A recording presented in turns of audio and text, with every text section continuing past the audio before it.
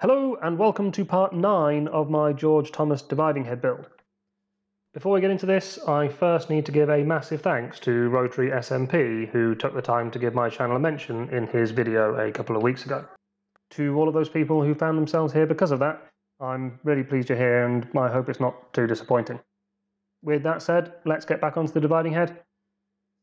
This time we are going to tackle the division plate blanks to fit on here and have a look at the sector fingers that are used to help with the hole counting. The first thing to do is to face these plates to thickness and bore them to be a close fit on the mount there. So let's go. Again, I'm employing the 4-jaw because of its size, and I am trying to get these to within a couple of thou of true, as although they will get a light skim off their diameter, they are already at the specified 4 inches, and I don't want to have to remove any more material than is necessary to clean up that surface. With the first side faced, I can flip the part and hold it parallel by using a couple of spacers between the face side and the jaws. The part can then be clocked in as before and the spacers removed with a brass drift before starting the machine. This can then be faced to thickness and the center bored to 0.938 to fit onto the mount. Now this needs to be a pretty good fit as this is the locating feature for the plates and a poor fit here would make aligning the finish plates with the plunger arc, if not difficult then definitely irritating. We are to size and the fit on the bracket is good. A chamfer on the front and at the back of the hole completes the work in this setup and we can move on to the OD.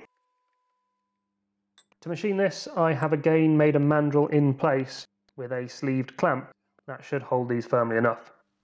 Thinking ahead a little, I have also machined a short section back from the shoulder to a nominal size, as I think I can use this mandrel again when drilling the plates. A skim off the factory surface and a chamfer on both sides completes the turning work. So let's take these over to the mill to finish the drilling.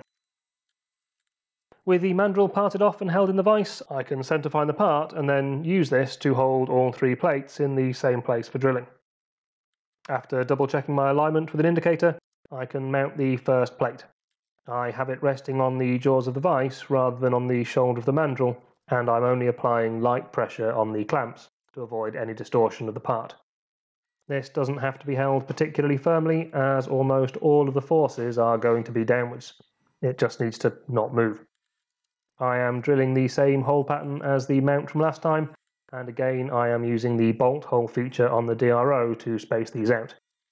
They are all drilled clearance for M4 and are all countersunk at a quarter inch, and I'm taking the countersink approximately 1 16th below the surface to completely sink those screw heads. That is the last one, so let's see how they look.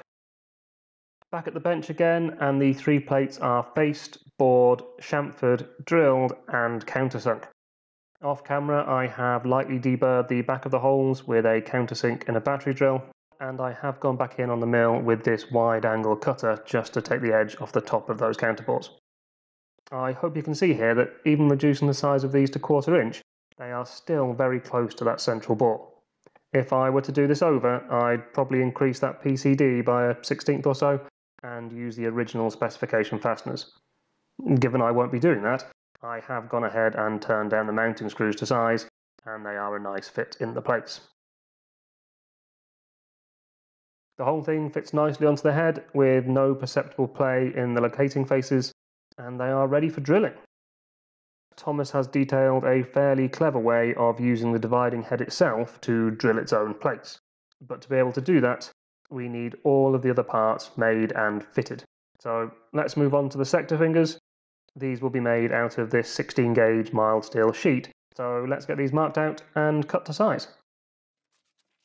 I have cleaned the sheet with some isopropyl alcohol and just straightened the long edges with a file to give me something to work from.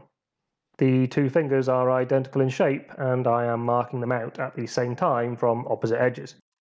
Now I will often roughly mark out parts before transferring them to the mill, but in this case the entire shape will be completed with handwork alone so I am being quite careful with the dimensions on this. The hole positions are centre punched, moving them if necessary until they fall on the scribe lines to provide a positive location for the dividers.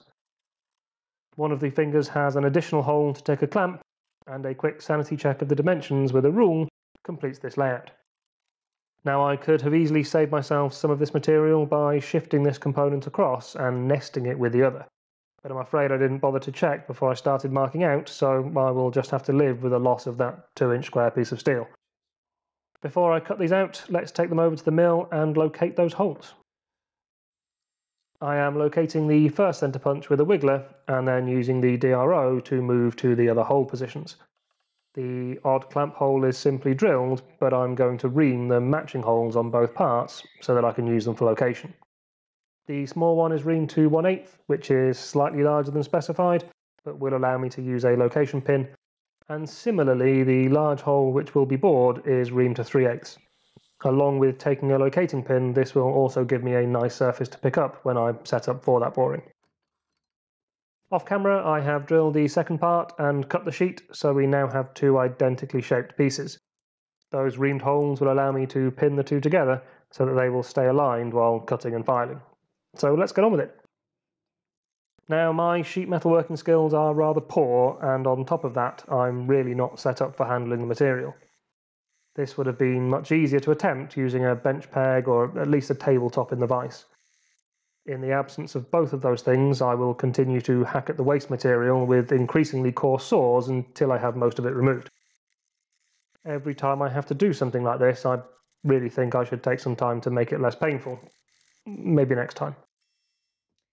With the majority of the waste sawn off, I have taken this over to the sander and taken what I can down close to the lines and the rest I will do with file work. For the small radius, I have made a filing button of the correct size that will sit in the 1 8 hole, and I will just complete the larger one by eye. So let's go. It is now just a case of filing these down to the lines, taking care to keep the edges as square as possible, and keeping an eye on the location pins that constantly fall onto the floor. Hemingway kits sell a die filing attachment for the lathe that would be ideal for this, and I've been looking at it for a while. Now, there are a few examples on YouTube already, but if anyone would be interested in seeing me make one of those, please do let me know.